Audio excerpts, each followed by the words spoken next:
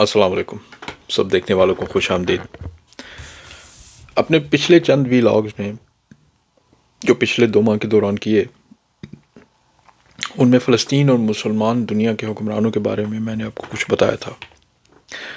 بشمول یہ اشارہ دے کے کہ جب خان صاحب کی حکومت گرائی گئی، تو کس ملک کا، کس مسلمان ملک کا کیا رد عمل تھا؟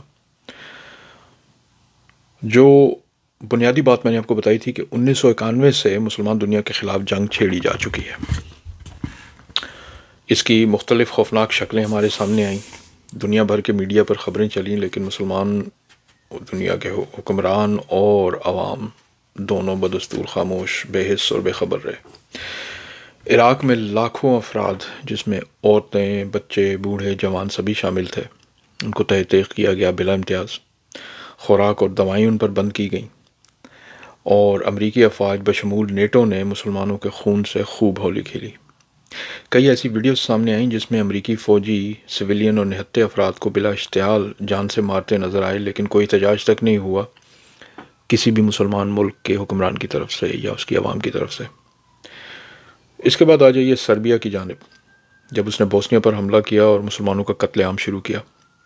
سول وار کے نام پر لاکھوں مسلمانوں کو موت کے گھاٹ اتار دیا گیا جس میں عورتیں اور بچے بھی شامل تھے اور ان کو انتہائی درندگی سے مارا جاتا۔ بچوں کے گلے کاٹے جاتے، عورتوں کو ریپ کیا جاتا اور پھر ان کو اجتماعی قبروں میں زندہ پھینک کے دفنا دیا جاتا۔ اقوام متحدہ کی افواج کی باقاعدہ نگرانی میں یہ کام ہوتا تھا۔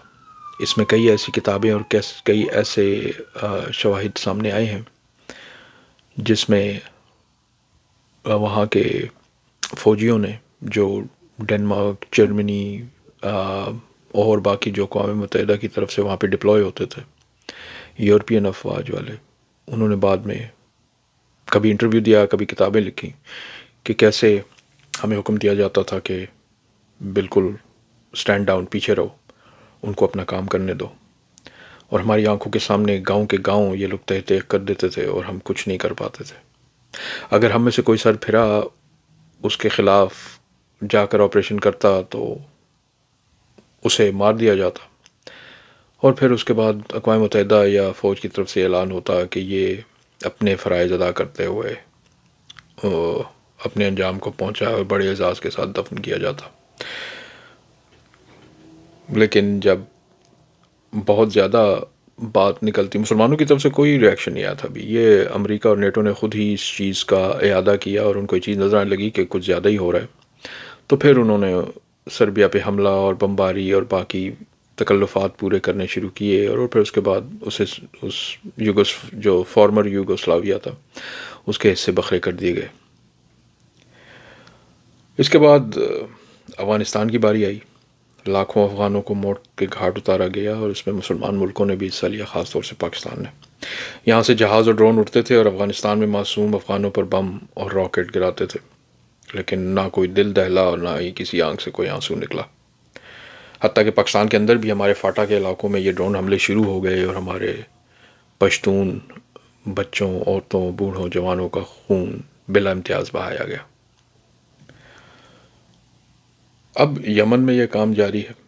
جہاں روزانہ بمباری ہوتی ہے، پہلے یہ کام سعودی عرب کے ذریعے کیا جا رہا تھا، اب ڈائریکٹ نیٹو کی افواج وہاں پہ بمباری روز کی بنیاد پہ کر رہی ہیں۔ اب صرف دو ملک بچے ہیں، ایک پاکستان اور ایک ایران۔ پاکستان کا حال تو اب دیکھ ہی رہے ہیں۔ ایران پر بھی چھریاں تیز ہو رہی ہیں۔ حال ہی میں ایک برطانوی پارلیمنٹ ممبر نے ایک پرائیویٹ چینل کو انٹرویو دیتے ہوئے یہ انکشاف کیا کہ انیس سو اکانوے سے آج تک جتنے بھی مسلمان ممالک ہیں اور اسرائیل کے لیے خطرہ تھے یا ثابت ہو سکتے ہیں، ان کی ایک لسٹ بش سینئر کو تھمائی گئی تھی۔ اور اس نے یہ الیکشن کے دنوں میں تھا اور الیکشن کے دنوں میں پھر اس نے وعدہ کیا کہ اگر میں اقتدار میں آیا تو میں ایک کے بعد ایک یہ کام جاری رکھوں گا، اس کو امریکن پالیسی کا حصہ بناؤں گا جو فوراً اور دفاعی پالیسی ہے۔ پھر اس کے بعد آپ نے دیکھا کہ کیسے اس نے عراق پہ بغیر کسی اشتعال کی چڑھائی کی اور اس کے بعد ایک کے بعد ایک مسلمان ملک امریکہ اور نیٹو افواج کا نشانہ بنتے چلے جا رہے ہیں۔